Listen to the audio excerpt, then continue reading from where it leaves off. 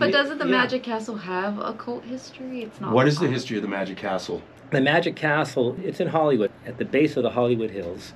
The building itself was built in 1908 as a residence. By 1962, it was an abandoned home. Two brothers, uh, Bill and Milt Larsen, they turned that into the Magic Castle, which is the home for the Academy of Magical Arts. And they built it into what it is today.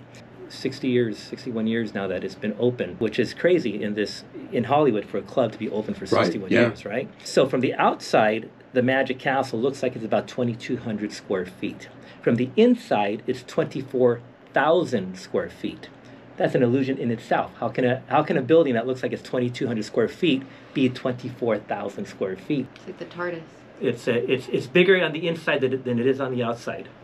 Isn't and, that crazy? and is that deep tunnels and because rooms it's dug built in? And it's built into the hillside that, and you can't Yeah. see most of it that's built That makes into the sense though because it does look like it's elevated. I mean, when I'm driving by, sure it, it from the outside it looks big just because it's a hill. yeah yeah but it's a lot bigger on the inside than it is on the outside so it's genuine. It's not Trump Tower. no yeah and they have uh, five showrooms uh, five bars a restaurant and they have a bunch of magicians What's the academy all about?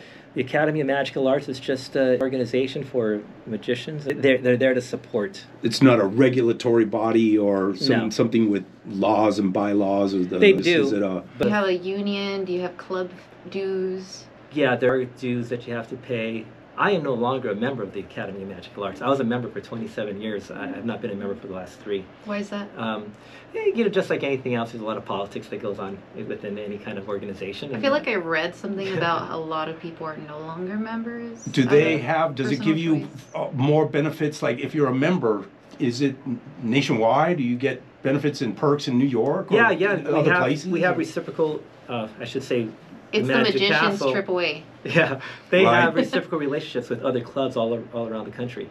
And so, if there's a private club, let's say in New York, that they have a reciprocal relationship with, you can actually go to that club and you go in for free because they let their members come to the Magic Castle Right. for free. Yeah. Is the Magic Castle the like the premier magic club in the world It or is. in the United States? It is in, in the world. Yeah. Every, if you're a magician, you know about the Magic Castle. Right.